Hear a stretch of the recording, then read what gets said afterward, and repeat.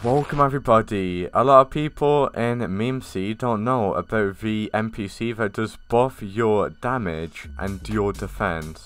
If you make your way over here, there is an NPC called PvP Buff Expert. Speak to this guy.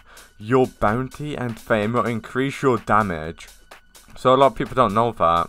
So at the top right guys you can see the more bounty slash fame you have the more PvP buff you will have. So in order to get a higher bounty slash fame, kill people.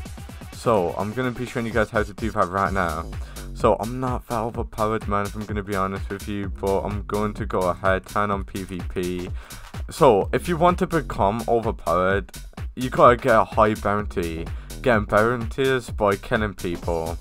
I'd recommend you being a decent level before you do this though, but unfortunately I do see a guy here, let's go ahead and kill him. So some people have PvP turned off, does this guy have P- oh, okay, we can probably kill this guy, maybe. So I really don't want to lose my bounty here, if I'm going to be honest with you. But this is literally what you got to do. Oh wait, is he taking a lot of damage from me? No, it's not. T-Sipper. Oh yeah, we killed him. There we go. Yeah, and bounty. Look at that at the top of the screen.